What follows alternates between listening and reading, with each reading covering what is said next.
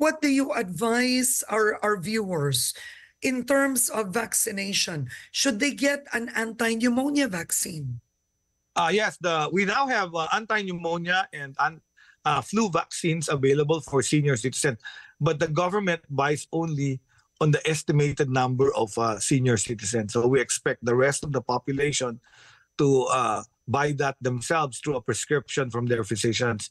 So the government cannot afford to vaccinate everybody because that's a lot of money. There are other vaccines that are available now for herpes, for example, also very expensive. Or So we are shingles, the shingles vaccine, uh, and it's uh, very important that those, if you're a vulnerable Yeah. group, you're, you belong to the vulnerable population, uh, you'd probably be. It's an optional. We call them optional vaccines, Karen. So it's not like the mandatory vaccines. By the way, we're also having rises of measles and rubella Oh, in the country from children. So Oo. sabayan, it's also happening. And of course, uh, yun mga preventable yun, Karen. So I'd rather have the under six really get their uh, measles shots and rubella shots para if there are parents there who haven't gotten their children shots, you can die from uh, post uh, bronchopneumonia measles. So so very important yan na we don't have children dying from vaccine preventable diseases as well. no. Matanong ko lang now, what is the compliance when it comes to vaccination for children? uh, bumaba, no? Currently, we, we, we were able to reach 95% fully immunized child. That means all the eight diseases that we vaccinate for, we're able to reach 95%. That's the target. And uh, we, we reached that long time ago with Senator Flavier when he was Secretary of Health because his campaign was really, uh, and, you know, very dramatic and everybody went to the. Now, we've had several experiences in the past, uh, mistrust in the vaccine. Social media isn't helping us there's a lot of anti-vaxxers on social media and it's converting pre- parents from not having their children vaccinated but what i can say on tv is that probably vaccines are the most important innovation in public health they have saved millions of lives and for the proven ones like measles rubella chickenpox i think these are things we should have our children get and it's sad karen our country is listed as number four among children with zero dose vaccines. Zero, not a single shot of vaccine. And, and we provide that. The government buys all of that for all the children, actually. Uh, we buy from hepatitis, measles, mumps, rubella, uh, uh, hepatitis B, uh, HIV, all, all of the uh, HIV, I mean, Haemophilus influenza, HIV. And uh, all of those are included in our national immunization program. We spend over over a billion to buy all these meds, and our compliance is something like 71% only. We still need to catch about 30% of the children to get uh, uh, better rates and prevent this uh, vaccine, pre- these deaths from uh, preventable diseases. Pero may papel ba dito ang LGU? Ye- yes, it's the the the DOH buys it. Remember, healthcare is devolved, decentralized. We're one of the most decentralized healthcare systems in the world. So the national government buys about the vaccines for enough of the children that are born, and, and then this is distributed from the regional office to each of the local governments. So the local governments are the ones that actually inject this to the shoulders, to the arms of the children. So there's a big diverse variety of efficacy. There are some mayors or local chief executives that are very effective. There are some that probably are also anti-vaxxers. I, I can say, and you'll see them stacked up uh, just in the storeroom, even if we distribute them. So we Oh try to assist that. It's uh, like a national and local government partnership, so that we can vaccinate all the children.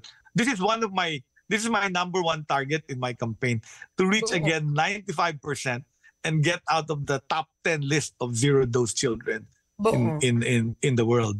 Al- alam mo, tanong ko lang, is it legal to vaccinate in schools? Can you do that? No, In you want to vaccinate them uh, uh, before the age of five. So the nine pro- vaccine preventable diseases, we only give a booster before school. So, for example, my children went to private school. The private school actually asked for their uh, booklet, their immunization booklet, before I could enroll them, which is interesting because I don't know if we do that in the public school. So, So that's something probably because vaccination is not mandatory. So there's a difference. Uh, we, it's obligatory, but it's not mandatory. That means people have free choice if you don't want to vaccinate your children.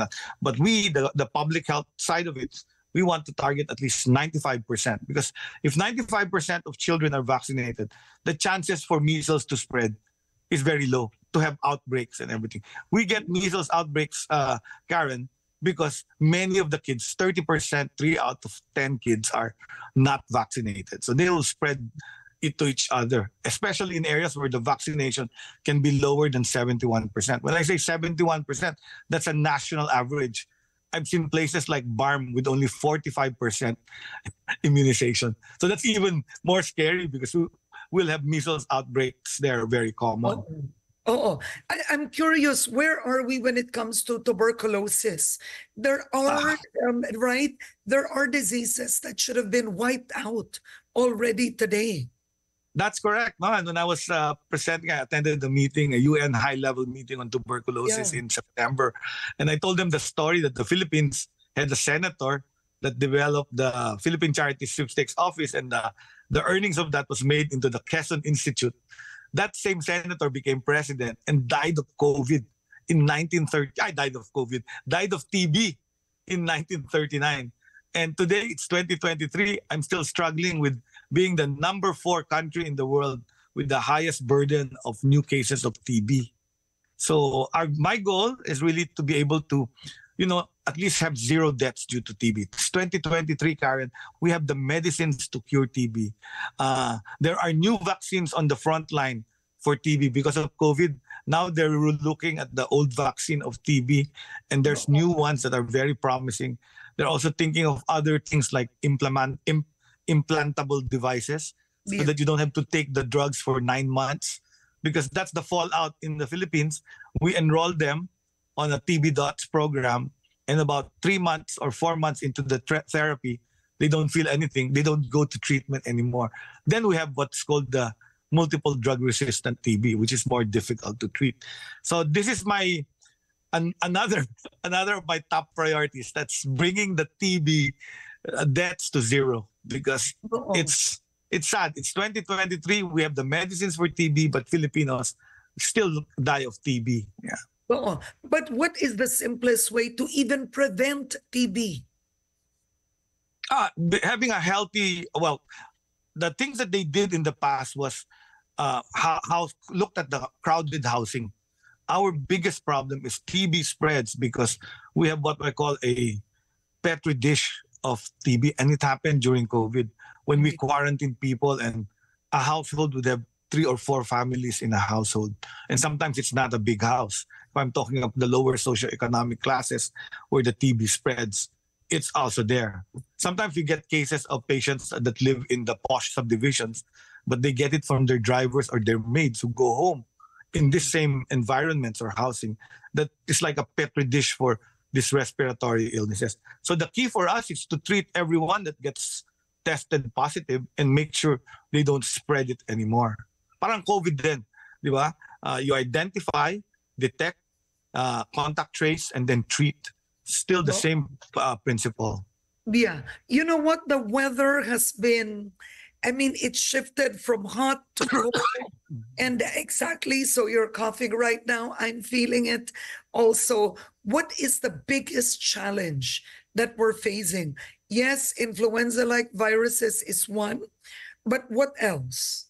Actually, the if you look at the top 10 illnesses that cause death in the Philippines, Yeah. COVID went down from number two to number five.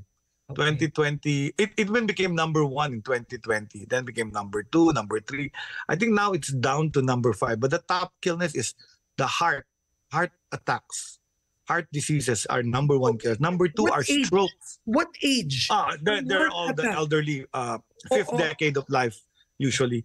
So, so all these are called lifestyle diseases because after your lifestyle of good eating, no exercise, obesity, uh, it eventually gets to you by the time you're 50 or 60. So that's how Filipinos are dying. Heart attacks, stroke, also another lifestyle diseases. Diabetes, also another lifestyle Yeah. diseases. And then cancer. So if you really think about it, and then after the cancer is all the respiratory illnesses, and then that's uh, COVID, pneumonia, all the other, and then the next one But is but but is pneumonia higher than COVID? Is pneumonia higher? they're lumped together. We, we just label them as pneumonias. They're respiratory illnesses. So infectious respiratory illnesses all lumped together. Bacterial pneumonia, viral pneumonia, COVID-19. So they're all lumped there together. And they're they're like number four or five. And then after that are the road crash injuries. So the road crash is also my my advocacy because the ones that die are the two-wheelers. We bought so much motorcycles during the time. And then the ones that die are people who are either working as a you know food delivery or you know the the rider app or they're going to work because it's cheaper than public transport. So what happens is when when head of the family dies from a motor crash you have a family of two or three that's suddenly orphaned. You add more to the economic burden of the country. So i'm really pushing for safer roads safer driving especially this season. Many people drink drink and then they drive their two-wheeler. Mm-mm. and you see that in the news. You reported in the news that this motorcyclist died. And it's become like such commonplace. We become already uh, jaded because it's we, we hear it every day. We should also be scared of that the two-wheeler injuries. And they're killing the 18 to 35 years old. That's the young men in our population we will be depleted with young men if they're just dying of uh, motor vehicles. So we need to make the road safer for them. We also need to make sure when you're driving a four-wheeler you don't you know injure them or kill them especially if you're driving the big trucks where the visibility for these motorcycles are poor. So so in essence uh karen ang daming problems. Covid is getting high but yes during the holiday season this heart attacks diabetes and stroke happen as well i've worked in the ed emergency department for years and we spend time in the ed treating these cases yung you know what karen they say once a year lang naman eh. I'll eat this. It's bawal for me. So I think it's about uh, health choices. People should make their health choices during the the season, and still, I'm not telling them not to eat the good stuff. Moderation probably, and making sure not making Christmas an excuse to eat what is bawal. Oo. Okay, where are we when it comes to dengue? Oh, dengue was also high. Uh, luckily, we didn't have so much rain and typhoon. So our dengue cases didn't go up like uh, the previous years. But I'm expecting that if the La Nina comes after El Nino, there'll be more rains. That means there'll be more areas for the mosquito to to breed.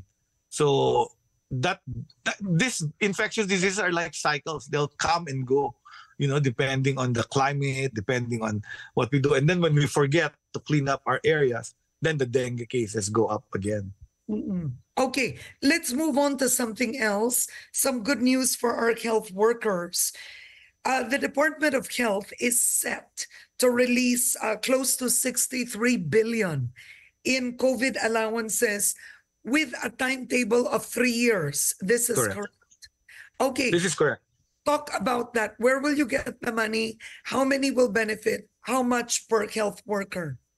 For this year, we allocated about 19 billion, and then the uh, amount of money that's been released to us by DBM was about 4 billion already. It's about 90% of it has now been disbursed, but many still haven't received because you heard it 63 billion that we have arrears since 2021. So it will take another year, next year pa, with another budget of another 22 billion in the 2024 uh, General Appropriations Act. And releases by the DBM because and this is the this is the what you call the haymaker it's under unprogrammed funds so it's Oh. only dependent Oh, wow. it's only dependent on the taxes and savings that government makes and then it will release the money to me to distribute to the healthcare workers. So, So talagang magagalit sa akin yung mga health my co-healthcare workers. Oo. Though technically, it's uncertain. uh, it's uncertain to be released when there's no, you know, the taxation is low. So it's dependent on the taxation and the savings of the, yeah, that's called unprogrammed funds. So the, it's dependent on the savings. So I made a request for another tranche to be released so we can give them, especially for Christmas, you know, naman, life is getting harder. You know, the cost of food and the other uh, cost of living is getting higher. So might as well help our healthcare workers. So it's there. We're working on it. It's there, uh, assured in the budget. I saw it in the uh, even in the BICAM. It's there, the health emergency allowance. So it will be continued, and this will be what we call the continuing appropriations. So the fact that we haven't disbursed it this year, we can move it on to 2024 and still continue to disburse it. Oo. Yung the one allocated for 2023 and then add on the 2024. So hopefully by next year, maubos na namin yung pag-distribute nito. Oo, pero I'm curious, what are you giving the health workers this year? Now, for for us, uh, depending on the savings, we also have what we call uh, uh, the CNA, the Collective Negotiations Agreement. For the savings of government, when you know when you don't use electricity, you close the office, you end up savings in the cost of government. We were able to give money to all the uh, employees of the Department of Health. So I announced that yesterday. But would so you know the figure? for that. Would you know the Pardon? figure? Yeah, but uh, they told me not to announce it so that Ah, walang inggitan because the the rates are different for regular employees, for the job orders, and for the contractuals. So iba-iba. So yun yung problema. So let them know from their bank account na lang that what they got. It's what government we were able to give what maximum government allowed. Yun na lang ang sasabihin ko. We were Oo. able to give the maximum that DBM allowed us to give. All so right. that's a sizable amount. Okay. Last words. Give me your last words in terms of COVID precautions. Okay, so for COVID so many parties now. People Yes. are out.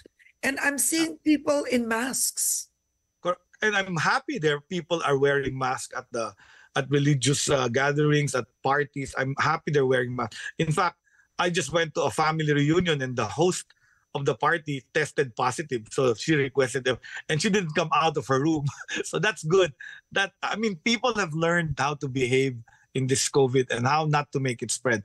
So reminders to everyone: if you do get symptoms and you test, we're now recommending the rapid antigen test we're no longer recommending the PCR because that's too complicated. And then you can test if you're you can test every other day, uh, starting on the day you get symptoms. And once you test positive, you isolate for five days. And then you can test again if you want, but you continue to wear the mask for 10 days. So even if your isolation is over after five days, I think uh, you can still you can go out already of your room and then you can mingle, but continue to wear the mask because you can still have the virus even 10 days. So wear it uh, uh, uh, when you go to people. Uh, otherwise, I think um, people are vaccinated. We should be careful with respiratory illness. What I'd worry about more are the lifestyle illnesses. So sabi ko, bawal yung mga ma-foods. Bawal yung mataba, maalat, at ma, ano yun, matamis. So, maalat for the hypertensives, Ba- Mataba Grabe, for ang, the ang lungkot cholesterol. ng Pasko. ang lungkot ng Pasko. no, I, I said masustansya din yung mga salad at fruits. So and it's also about moderation. I think I think it's about moderation. Yes, it's bawal but hindi din bawal tumikim. So once malasahan mo na, okay na yun. Natikman mo na yung food that was served that's actually the celebratory food. It's nice to celebrate, but I don't want Filipinos to celebrate in the emergency room of hospitals. All right, on that note, I want to thank you for joining me today, Secretary Ted Herbosa. And I do hope one day we can do a show on diabetes because I'm alarmed. It seems more and more Filipinos, you know, are either, you know, they're pre-diabetic or their sugar's high. I don't think we're talking enough about it. Let's do that. Uh, that that Yeah. starts with childhood obesity. Did you know that? Oh, uh, If see, mothers here, they're chi- feeding their children who don't exercise. By the time they're, yeah, by the time they're 30, they have diabetes already. All So right. Uh-uh. So next time, Merry Christmas, Secretary. Merry Christmas. Christmas. Merry Christmas, right. everyone.